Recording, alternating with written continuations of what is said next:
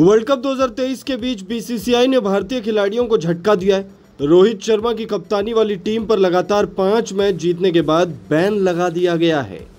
अब आप सोच रहे होंगे कि बीसीसीआई ने ऐसा क्यों किया और किस चीज़ का बैन लगाया गया है तो वीडियो को एंड तक ज़रूर देखिएगा। वीडियो पसंद आए तो उसे लाइक भी ज़रूर कर दीजिएगा। दरअसल, टीम ने पांचवा मुकाबला धर्मशाला में न्यूजीलैंड के खिलाफ खेला था। और इसके बाद टीम को अगला मुकाबला कुछ लंबे गैप के बाद 29 अक्टूबर यानी रविवार को खेलना है। ऐसे में टीम को धर्मशाला में दो दिन का ब्रेक दिया गया था। इस बीच टीम मैनेजमेंट की ओर से खिलाड़ियों को बता दिया गया कि धर्मशाला में उनके लिए ट्रैकिंग पूरी तरह बैन है। वे दो दिन के ब्रेक में ट्रैकिंग नहीं कर सकेंगे। हालाँकि भारतीय खिलाड़ी इस ब्रेक में धर्मशाला के शानदार नज़ारों का पूरी तरह से आनंद ले सकेंगे। इसके अलावा खिलाड़ी पैराग्लाइडिंग भी नहीं कर सकेंगे।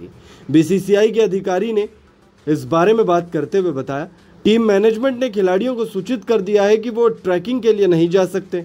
वहीं टूर्नामेंट के दौरान खिलाड़ी पैराग्लाइडिंग भी नहीं कर सकता है, क्योंकि ये खिलाड़ी के कॉन्ट्रैक्ट के खिलाफ जा सकता है। आपको बता दें, आपको बता दें, टीम इंडिया को अपना अगला मुकाबला, यानी वर्ल्ड कप 2023 का छठा मैच लखनऊ के एकाना क्रिकेट स्टेडियम में खेलना है। रिपोर्ट्स के मुताबिक टीम इंडिया 25 अक्टूबर बुधवार को लखनऊ पहुंचेगी।